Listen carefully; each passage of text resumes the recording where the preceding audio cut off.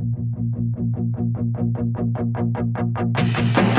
the pages back so I can sit and think about this life.